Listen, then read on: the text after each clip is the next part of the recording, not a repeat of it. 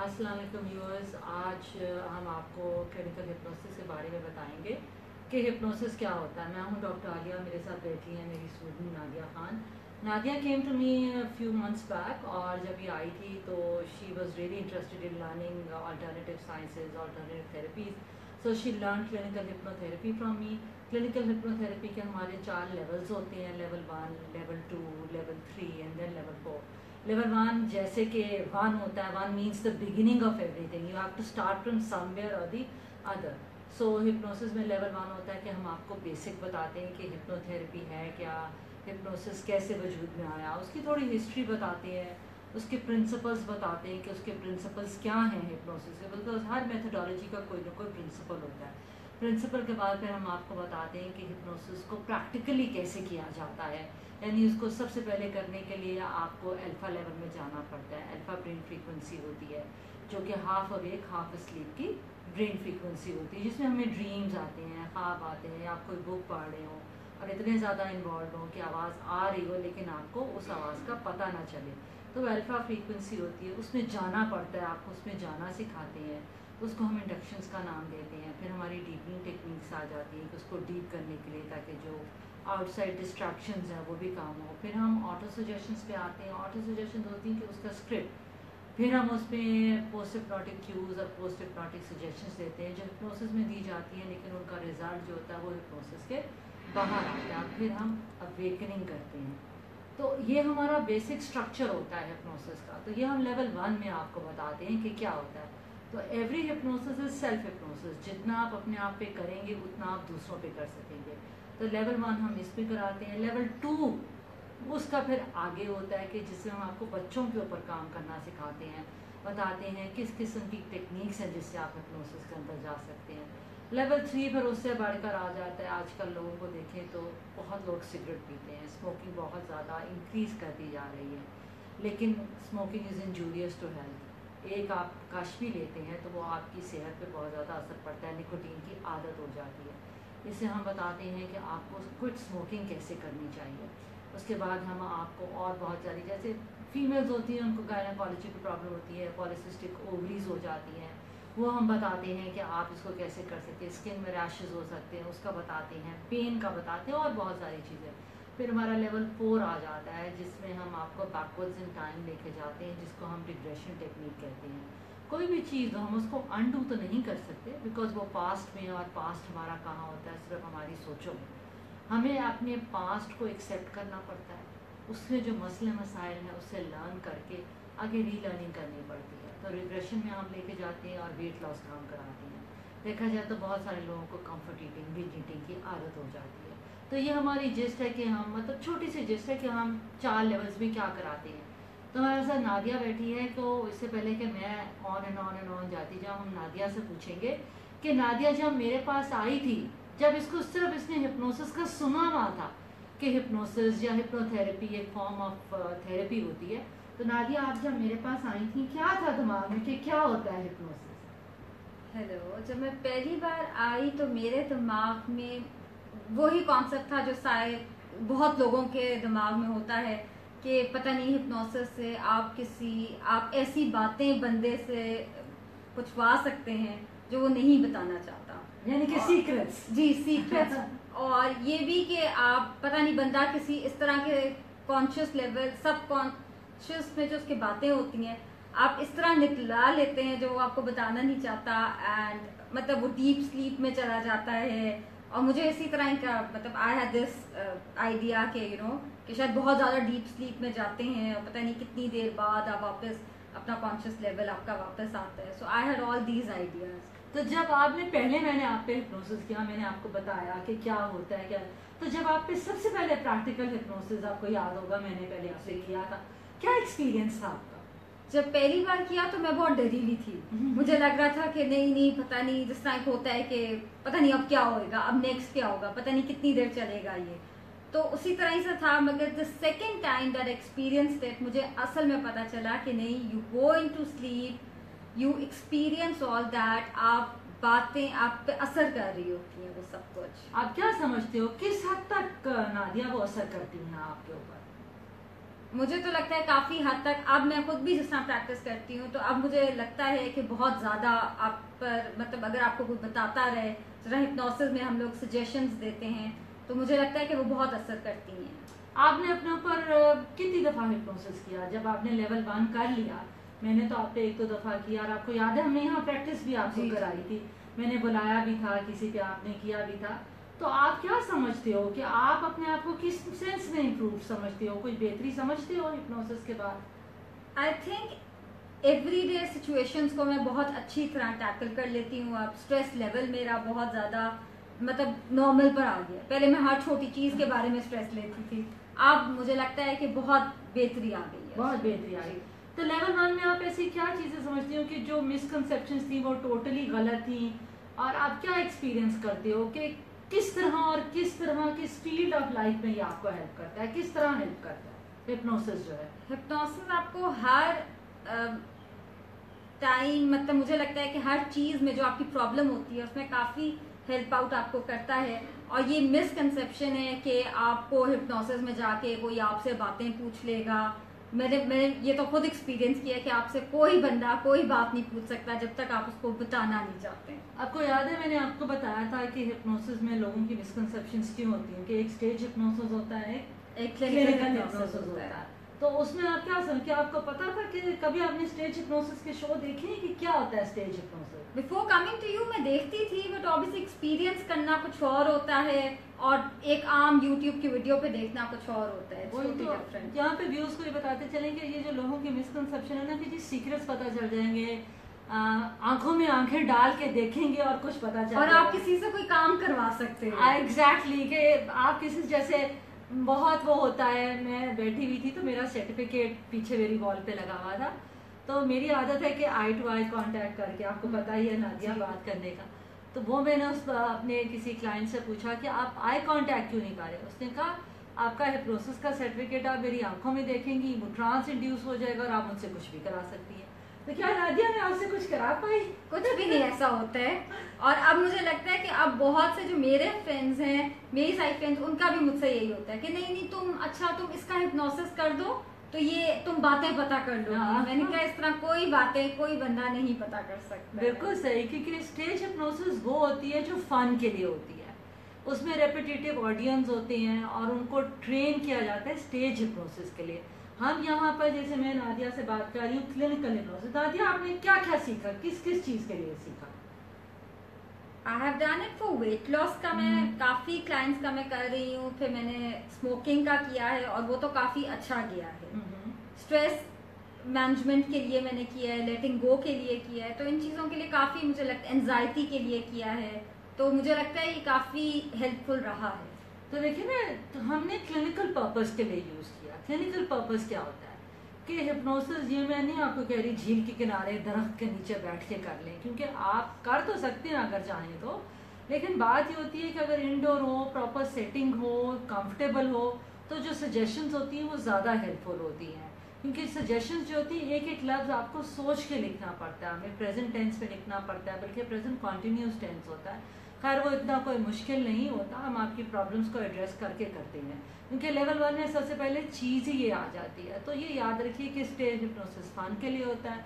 और clinical hypnosis जो होता है, वो क्लिनिकल चीज़ों को, जैसे नादिया ने आपको बताया कि उसने एंगजाइटी पे काम किया है वेट लॉस पे काम किया है क्विक स्मोकिंग पे नादिया ने काम किया है। मेरे पास बहुत सारे बच्चे भी आते हैं तो बच्चों पे भी हमने काम किया है।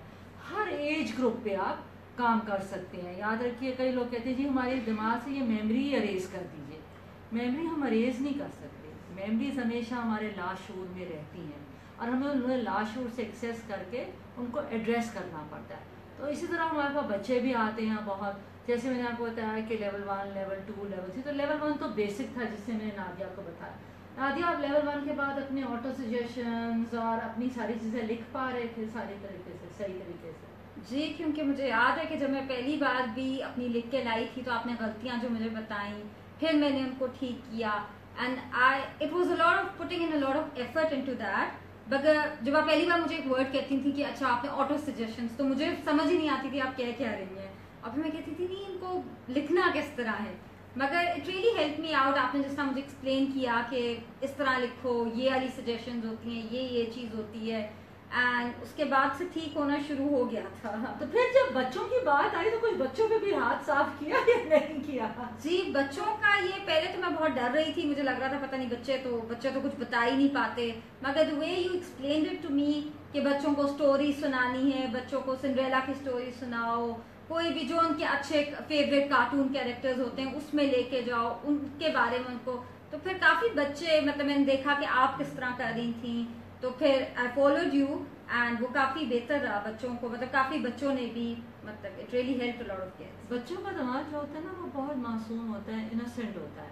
अगर उनको उनके फेवरेट कैरेक्टर रिलेट कर दे स्पाइडर मैन हो गया, उसके बाद आप देख लें बच्चियाँ डॉल से सिंड्रेला की स्टोरी होगी रेड राइडिंग हुड की स्टोरी हो गई स्नो वाइट की स्टोरी हो गई, हर बच्चों की ना अपनी फिक्स चीज़ें होती हैं। जब हमें पता चल जाता है कि उनके क्या इंटरेस्ट है तो हमें बहुत ज़्यादा उससे आसानी हो जाती है। तो हम उससे बहुत ज़्यादा चीज़ों का फ़ायदा उठा सकते हैं। तो इसी तरह बच्चों को भी जब हम देख सकते हैं बहुत सारे बच्चों की जैसे बेड वेटिंग होती है। जब उनको ब्लैडर इश्यूज़ होते हैं तो उससे हम बेड वेटिंग को भी कर सकते हैं। नेल बाइटिंग का भी हम लेवल टू में कर सकते हैं। जब हम लेवल टू की चीज़ें कर लेते हैं तो हम लेवल थ्री पर आते हैं। जब हम लेवल थ्री की बात करते हैं तो उसमें आपको क्विक स्मोकिंग सिखाते हैं। अक्सर लोग जैसे आप देखिए कि आजकल ड्रग्स भी बहुत आते हैं और वो जो डोप है जिसको आप चर्च कहते हैं वो सिगरेट में डाल कर जी। पी जाती है सिगरेट में उसको डाल के। लेकिन कई लोग आम स्मोक भी करते हैं। सिगार भी पीते हैं। जी। ठीक है? तो स्मोकिंग में सिगार और पाइप और ये सब चीज़ आ जाती है। तो नादिया उसमें आपको क्या लगा कि क्या करना चाहिए? सबसे पहली चीज़ क्या है कि अगर मैं आपको कहती कि भाई स्मोकिंग में तो आपको क्या लगा कि क्या करना चाहिए पहले स्मोकिंग स्मोकिंग का मुझे तो ये फील होता है कि हम लोग समझते हैं कि शायद एक दिन में कोई छोड़ देगा। इट्स अ लॉन्ग प्रोसेस इस तरह नहीं कि एक दिन में आप उसका हिप्नोसिस करेंगे और वो अगले दिन कुछ स्मोकिंग कर देगा। इस तरह नहीं होता है। हमें अपने पेशेंट को भी टाइम देना पड़ता है कि वो थोड़े टाइम बाद मतलब ये मैंने हिप्नोसिस से ही सीखा है कि मतलब आप उसको चार पाँच सेशंस के बाद आप उसमें थोड़ी सी इंप्रूवमेंट देखना शुरू करते हैं। ये नहीं होता कि आप पहले दिन ही सोचें कि बस आज के बाद उस सिगरेट को हाथ नहीं लगाएगा। और मतलब मुझे लगता है कि इट्स रियली हेल्पफुल कुछ स्मोकिंग के लिए भी। जब हम क्विक स्मोकिंग करते हैं तो आपको याद होगा मैंने आपको पहले बिहेवियर मॉडिफिकेशंस बताई थी कि इसकी बिहेवियर मॉडिफिकेशन। होती हैं कि पहले आप कहते हैं कि सिगरेट ज़्यादा पियो अगर इस हाथ से पी रहे हो तो इस हाथ से। पियो ताकि हैबिट जब आपने मुझे ये बताया था तो मुझे लगता था यही नहीं कि पेशेंट यही समझे कि अच्छा वो ज़्यादा पी लिए तो वो रोज ही ज़्यादा पीना शुरू कर दे। तो आपने जब बिहेवियर मॉडिफिकेशंस की उसका क्या रिज़ल्ट लगा आपको? उसके बाद से मतलब जब मैंने अपने पेशेंट पे एक्सपीरियंस उसको किया तो वो काफ़ी अच्छा रहा। कि मतलब अब मैं देखती हूँ कि एक क्लाइंट जिसका मैं कर रही थी तो उसने काफ़ी हद तक खत्म कर दिया।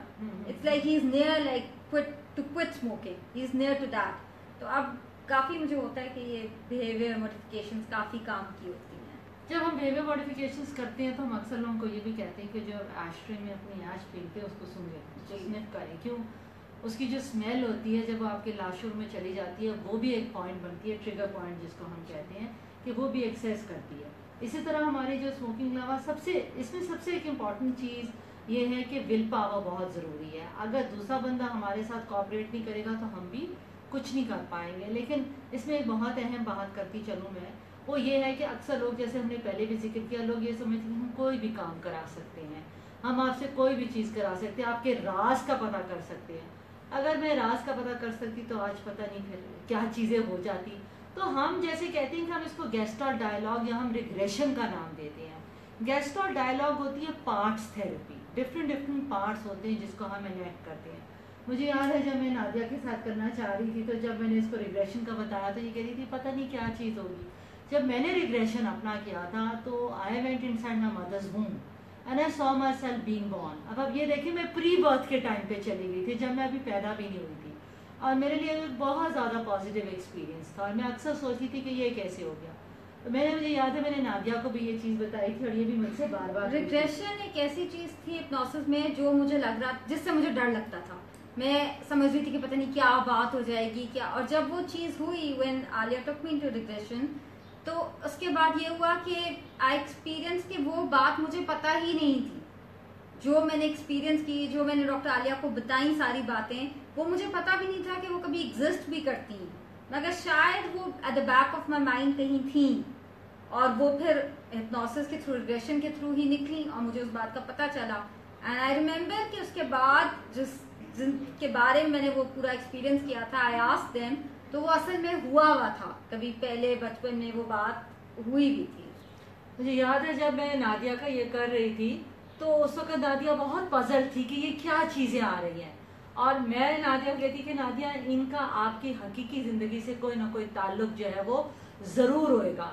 तो उस वक्त हमारे सेशन को तकरीबन हमने एक दो सेशंस किए हैं, क्योंकि एक सेशन में ज़ाहिर है कोई भी चीज़ को मुकम्मल नहीं होती। जब हमने रिग्रेशन का सेशन किया तो नादिया बहुत कॉम्प्लेक्स थी, बड़ी पजल थी। लेकिन दूसरे दिन जब ये मेरे पास सीखने आई सेशन लेने आई तो शी वॉज़ वेरी अमेज्ड और आपने क्या बताया बताएँ, आप खुद ही। वो, उस टाइम वो वो बात हो चुकी थी, वो बात हुई भी थी। और वो जब मुझे आलिया ने पूरा वो एक सिनेरियो पूरा दिखाया, वो एग्जैक्टली exactly ही उसी तरह ही हुआ हुआ था। एंड आई आस समवन जो उसमें थे पूरे में सिनेरियो में आई आस देम ये हुआ था? And they me they told me कि तुम तो बहुत छोटी थी, तब तुम्हें किस तरह? आई वाज हार्डली लाइक 5 और 6 प्रॉब्ली और मुझे तो याद भी नहीं, अभी भी अगर मैं उसके बारे में सोचती हूँ तो मुझे याद नहीं आता कि मैंने कभी ये चीज़ देखी होगी। मगर इट वॉज़ इन रिग्रेशन तो देखिए रिग्रेशन हो गया या क्विक स्मोकिंग हो गया, ये सारी चीज़ें ऐसी हैं जो हमारे सबकॉन्शियस माइंड यानी अगर हम कहें तो लाशोर लाशोर या हमारा सबकॉन्शियस माइंड कौन सा माइंड होता है? वो होता है जो सब चीज़ों को एक्सेस करता है। हिप्नोसिस क्या करता है? हिप्नोसिस वहाँ से जाके इंफॉर्मेशन को एक्सट्रैक्ट करता है, यानी निकालता है। जब वो निकालता है तो वो पॉजिटिव चीज़ों के लिए होता है। थेरेप्यूटिक होता है। जितना वो वहाँ से निकालेगा, जितना थेरेप्यूटिक होगा, जितना आप बार बार करेंगे, उतना ही बेहतर होगा। तो मेरा मेन मकसद हमारा नादिया का, मेरा व्यूज़ को बताना ये था कि जो लोगों ने एक मिसकनसेप्शन हिप्नोसिस के बारे में बनाई हुई है, ऐसी कोई बात नहीं। ये एक उसी तरह थेरेप्यूटिक टेक्निक है, जिस तरह बाकी थेरेप्यूटिक टेक्निक्स होती हैं। अब मैं कहती हूँ कि मैं अपनी इसको रोज़मर्रा की ज़िंदगी में अपने लिए भी बहुत इस्तेमाल करती हूँ और मुझे बहुत ज़्यादा फ़ायदा देता है। तो हम यहाँ व्यूज़ को यहीं पे हम एंड करेंगे और बताएँगे कि देखें कि किस तरह हमने ये किया। अगर आपका कोई सवाल हो तो आप हमें info and Mariam healing centre dot com पर ई मेल कीजिए। दोबारा कहती हूँ info and Mariam healing centre पर आप करिए W W W dot Mariam healing centre W W W dot Mariam healing centre dot com पर जाइए। वहाँ जाके देखिए कि हिप्नोसिस क्या है, उसके बारे में क्या ऐसी चीज़ है या मेरी किताब है। Healing journey through alternative therapies for stress anxiety and depression इसे मैंने हिप्नोसिस के बारे में भी बताया है रेकी के बारे में भी बताया है नादिया ने मेरे से हिप्नोसिस के अलावा रेकी भी सीखी हुई है। और ये अपने ऊपर रेकी भी प्रैक्टिस करती है, लेकिन अभी हम सिर्फ़ हिप्नोसिस की बात कर रहे हैं। तो मैंने जैसे अपनी बुक के बारे में बताया वेबसाइट के बारे में बताया, वहाँ हमारे टीवी प्रोग्राम्स भी बहुत हैं तो मैं व्यूज़ को कहूँगी कि जाएँ, उधर देखें और और बहुत सारी इन्फॉर्मेशन हासिल करें। और अगर कोई सवाल है तो हमें ईमेल करिए। शुक्रिया।